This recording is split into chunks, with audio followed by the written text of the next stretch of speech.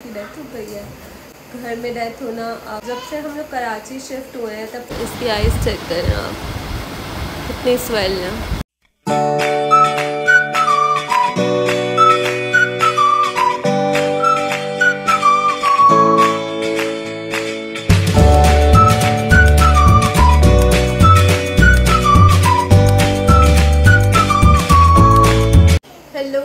Ji and welcome back to another vlog तो सबसे पहले आप लोग सब खैरियत से होंगे और मैं उम्मीद करती हूँ सब ठीक ठाक होंगे। एक ही बात होती है वैसे, है? समझ नहीं आ रहा कि ब्लॉग कैसे स्टार्ट करूँ, क्योंकि आज मैं काफ़ी दिन बाद ये ब्लॉग बना रही हूँ। उसका रीज़न ये था कि मेरे नाना की डेथ हो गई है। तो अल्लाह ताला उनकी मगफिरत करे।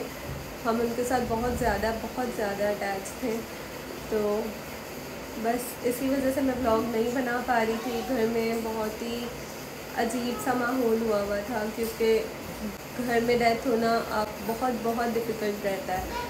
तो जब से हम लोग कराची शिफ्ट हुए हैं, तब से मैं ज़्यादातर अपने नाना के साथ ही रही हूँ। और हमारी फैमिली के लिए ये बहुत बड़ा सदमा है, क्योंकि कुछ साल पहले मेरी नानी की डेथ हो गई और अब अचानक से नाना की डेथ हो गई।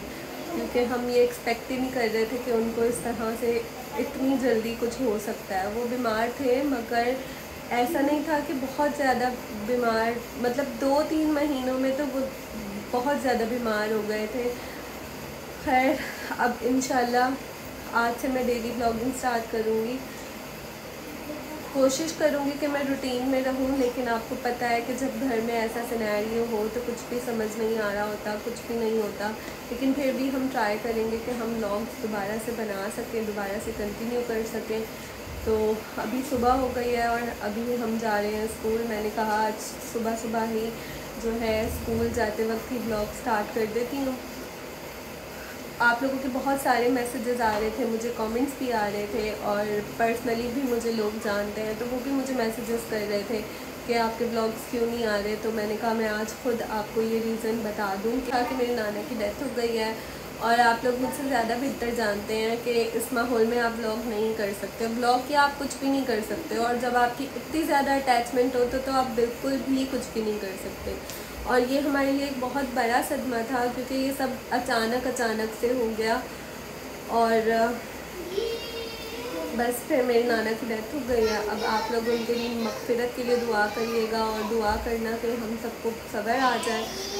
मेरी मम्मा की कंडीशन भी ठीक नहीं थी, पापा भी बीमार थे बहुत सारी चीज़ें चल रही थी एक साथ ही तो इस वजह से हम लोग बहुत ज़्यादा डिस्टर्ब थे।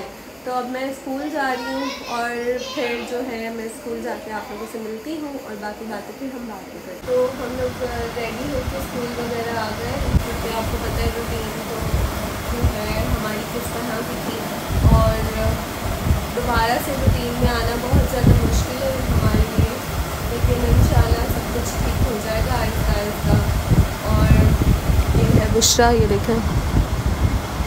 इसकी भी काफ़ी तबीयत ख़राब है, ये भी हॉस्पिटलाइज थी, आपको इसके फेस से पता चल रहा होगा। बुशा ज़रा आपने ग्लासेस उतारो, इसकी आइज़ चेक करें आप। कितनी स्वेल है। तो तो बस अब देखें आगे क्या करते हैं।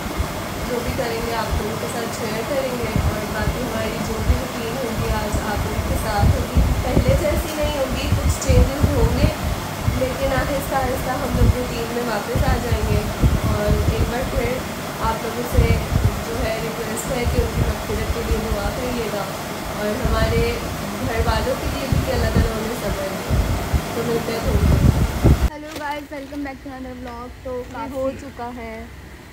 तो हम लोग स्कूल से आके खाना वाना खा के और सारे कामों से फारिग होके आ गए थे साइकिलिंग पे। और आज डेथ के बाद हम फ़र्स्ट टाइम साइकिलिंग पे आए हैं। तो बस देखें आगे क्या करते हैं। और बुशरा ने न्यू स्केट्स ली हैं वो भी चलाने सीख लिए हैं उसने तो मैं आपको वो भी दिखाऊँगी तो बुशरा तो मिलते हैं थोड़ी देर मैं। भी। बाय तो अब तो, हम लोग बहुत मशरूफ थे इस टाइम तो अब हम लोग एक्टिव हो गए माशाल्लाह थोड़ा सा। तो हम बाहर निकले हैं तो थोड़ा हल्के में लिया कर। हाँ। तो बस अभी आपको Bushra not well please pray for Bushra हाँ बुशरा हॉस्पिटलाइज थी मम्मा हाँ। बीमार हो गई पापा भी लगी इनकी नसें देखें। तो बाकी अब जो भी होगा आपके साथ इधर लगी थी। सॉरी इधर लगी। दिखाओ किधर लगी थी। हाँ इधर देखी नसें। तो ये देखें बुशरा ने जो न्यू स्केट्स लिए थे वो भी उसको चलाने आ गए हैं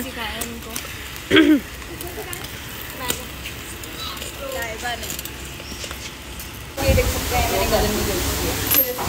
फिर इसकी आँख खुल गई क्या? फिर इसकी आँख खुल गई। तो हम लोग आ गए फ्राइज खाने के लिए। हम लोग आ गए अभी गाइस भी अभी झूठ बोल रही थी कि हम साइकिलिंग आ गए फ्राइज खाने। फिर मैंने इसको याद दिलाया कि मैंने तो कपड़े चेंज कर लिए इसने कहा चलो चलो दोबारा बनाते हैं दोबारा बनाते हैं। ये बहुत स्क्रिप्टेड बनाती है। मैं बता रही हूँ आप लोगों को। हम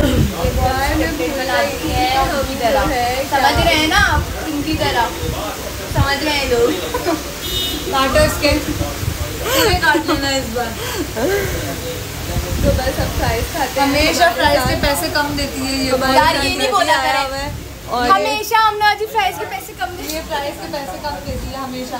गरीब आवाम। किसी दिन इसको यहीं छोड़ के चली जाऊँगी कि खुद ही हम सबका घर पहुँच जाए बाहर बाहर एक अड्डा खाली है बस। पहले मांगेगी और फिर देगी बिल। मैंने आपको कहा था ना मांगने वाला सीन ओके कीप डिस्टेंस तो अब हम फ्राइज का ऑर्डर देते हैं फ्राइज खाते हुए मिलेंगे। ये एक चोर की एक्टिंग करने वाला तो ये है हमारा ऑर्डर नहीं ये हमारा खाना आ गया अभी पेप्सी खा लेते हैं और खाते हैं और फिर पीते हैं। पीते हैं और फिर घर जाते हैं फिर घर जाके आपसे बात करते हैं। तो ये ब्लॉग मैं यहीं पे एंड करती हूँ। अब हमारी मुलाकात होगी हमारे नेक्स्ट ब्लॉग में। फ्राइज वगैरह हम खा के आ गए हैं अब हम सोएँगे। तो इंशाल्लाह अब हम मिलेंगे नेक्स्ट ब्लॉग में। तब तक अपना बहुत ख्याल रखें वीडियो को लाइक कर दें कमेंट कर दें शेयर कर दें और चैनल को सब्सक्राइब कर दें। और मेरे नाना के लिए ज़रूर दुआ करिएगा। इंशाल्लाह फिर मुलाकात होगी। अल्लाह हाफिज़।